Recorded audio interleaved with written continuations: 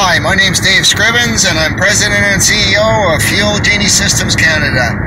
Today I'm out in my 2011 Prius with a Fuel Genie Systems hydrogen generator installed. Let's take a look at the mileage we're getting. So right now I'm doing, uh, I've gone 10.7 kilometers. I'm getting 3.8 liters per 100 kilometers and it says I'm averaging 104 kilometers an hour. I'm really doing 106. So if we look at that again, I moved up a bit in terms of liters per 100 kilometers. Down again, I'm going through some hilly country. Let's take a look at this again in a few minutes.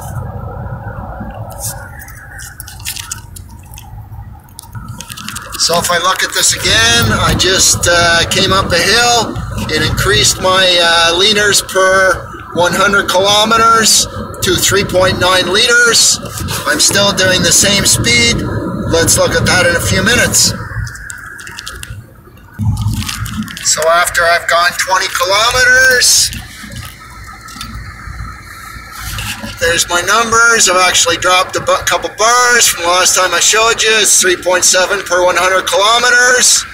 I'm still averaging 104, and that's what I'm always doing, or 65 miles an hour. Let's take a look at that in a few minutes. So if I look at this again, I think the traffic may be slowing down soon, so I'll show it to you now. I'm at 3.8 liters per 100 kilometers. I'm doing the same average speed. I'm doing 106 kilometers an hour actually, or 65 miles an hour. And I've gone 26 and a half kilometers so far. I'll try and show it to you one more time.